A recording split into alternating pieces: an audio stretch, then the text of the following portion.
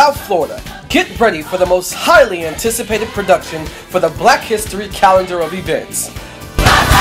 By Faith.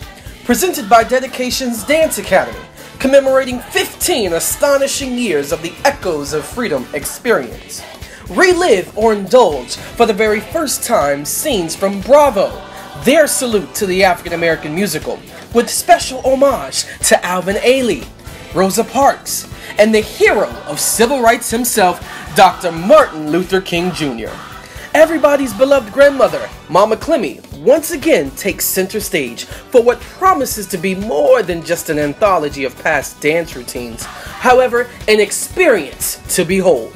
Friday through Sunday, February 26th through the 28th, 7 p.m. nightly at the Bethel Church, located at 14440 Lincoln Boulevard in Richmond Heights. Hosted by South Florida's very own gifted and talented actress and playwright, Mrs. Regina Hodges, with a very special appearance nightly by the king of mime himself, Adrian Cadillac Bell.